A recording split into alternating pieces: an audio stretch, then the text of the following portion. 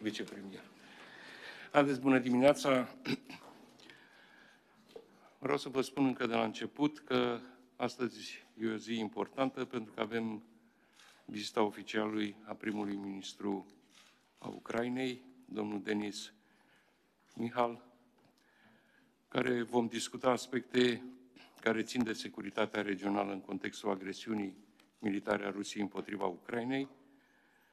Vom uh, aborda și eforturile noastre ale României în ceea ce privește tranzitul cerealelor ucrainiene pentru asigurarea accesului la hrană în, din acest moment la nivel mondial, dar și chestiuni care țin de agenda bilaterală pentru protejarea fermierilor români și a drepturilor minorităților române din Ucraina.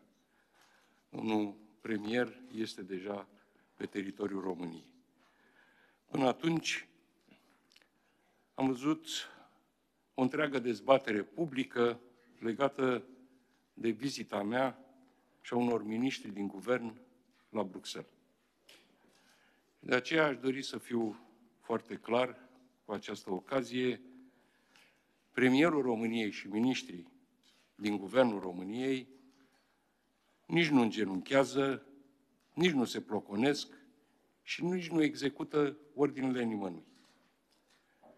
Avem un, un dialog normal cu Comisia Europeană care vizează închiderea anumitor jaloane din PNRR. Automat vizează și atragerea mai multor miliarde de euro pentru sprijinirea populației. Este un demers normal pe care, cu sinceritate vă spun, Guvernul României ar fi trebuit deja să-l fi făcut. Concret, doamna ministru a muncii, doamna Bucura Oprescu, va merge pe 28 august pentru a discuta despre jalonul legat de pensiile speciale, după decizia CCR. Un lucru cât se poate de normal. Domnul ministru de Finanțe, Marcel Boloș, va merge pentru o discuție despre jaloanele referitoare la reforma fiscal-bugetară. Ele sunt trecute ca și jaloane în PNRR, în următoarele cereri de plată. Nici nu se duce domnul ministru să ceară acceptul cuiva a unor. Cred că ipocriții care stau câteodată cu mâna întinsă după voturi, să-și aducă aminte ce reforme și ce jalone au trecut în PNRR. Când au zis că vor fi scoase excepțiile din codul fiscal al, al României. De asemenea, o să meargă și domnul Adrian Căciu, ministrul fondurilor europene, care are de închis până pe 31 august renegocierea PNRR și planul RIPAURIU.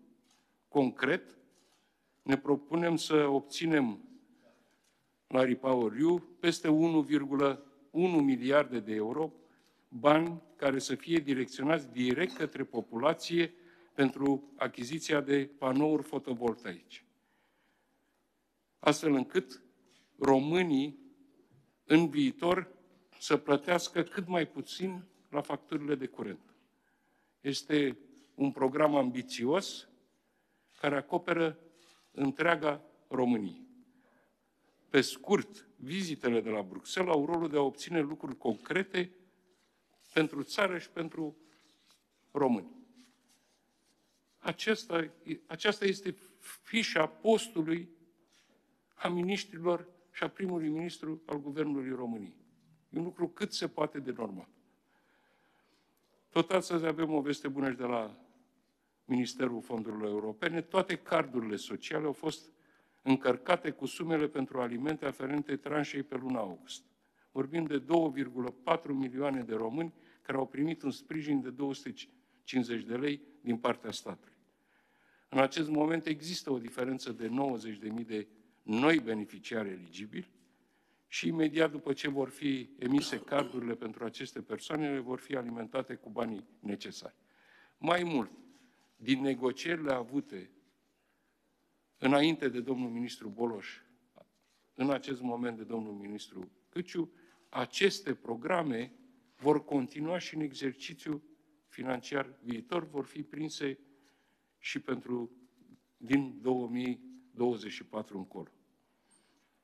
Dincolo de asta, cred că este o ipocrizie cinică. Aș spune dezgustătoare să minți și să sperii oamenii doar pentru a câștiga voturi. Vaccinarea în România nu a fost și nu va fi niciodată obligatorie. Înțeleg perfect reținerile românilor după tot ceea ce s-a întâmplat în pandemia COVID. Însă aici vorbim despre niște vaccinuri pe care le facem noi toți, părinții noștri, bunicii noștri, de zeci de ani în România. Sunt vaccinuri împotriva unor boli extrem de grave. Strategia națională de vaccinare pusă în dezbatere de Ministerul Sănătății este despre informare corectă și obligația statului român a toți românii să aibă acces echitabil la vaccin, mai ales cei aflați în grupurile vulnerabile. Atât și nimic mai mult. Repet ca să înțeleagă foarte clar. Nimeni nu va fi vaccinat forțat. Îi mulțumesc domnului ministru Rafila pentru că a ieșit să explice, să detalieze tot acest program național de vaccinare. Și îl încurajez să iasă în continuare. În final, pentru că începe weekendul și probabil iară stațiunile de pe litoral vor fi pline de turiști, vreau să fac un apel către forțele de ordine. Să fie foarte ferme în aplicarea legii. Oamenii vor lege și ordine.